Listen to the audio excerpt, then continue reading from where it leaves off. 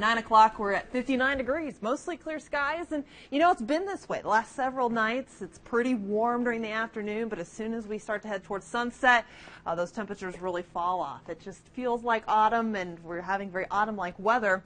And here's that hourly planner through the rest of the evening 59 at 9 o'clock. That's when you'll want the blanket. Uh, 54 at 11. And if you're going to be out early tomorrow morning, temperatures will fall back into the mid 40s for lows. Now, very dry. Continues to be very dry across eastern Nebraska, western Iowa. Looking here at radar and just uh, nothing going on for our region or really anywhere across the north central plains into the Great Lakes, Wisconsin, Minnesota, Iowa, the Dakotas, just nothing going on here in terms of like substantial weather and it's going to stay that way here through the next several days. Our high temperature today has been 75 degrees, very average for this time of year, but it was a chilly morning start.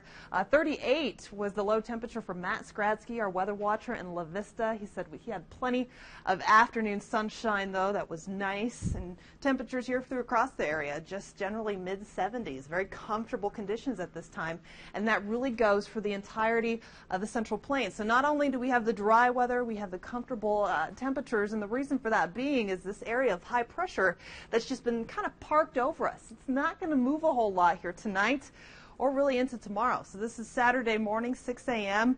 Uh, dry conditions, plenty of clear skies across the area. We'll see a lot of sun through the day on Saturday. Mild conditions with a very light south breeze starting to pick up.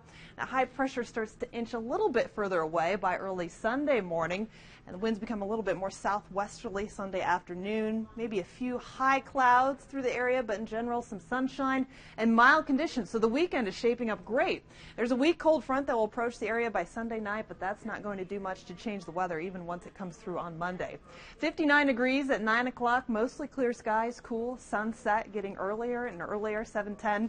46 degrees overnight, light or even calm winds but not quite as chilly as this morning. 50 degrees at 8 a.m., mostly clear skies and uh, beautiful condi conditions for the afternoon. 79 uh, for your high temperature. Maybe you just want to get outdoors and enjoy the fall colors that we're starting to see in the trees. Just beautiful outside.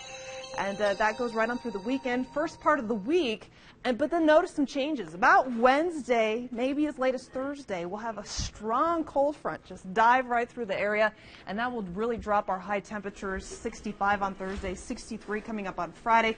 Slight chance of precipitation with that front, but not a great one, so it still looks pretty dry, guys. Holly, thank you.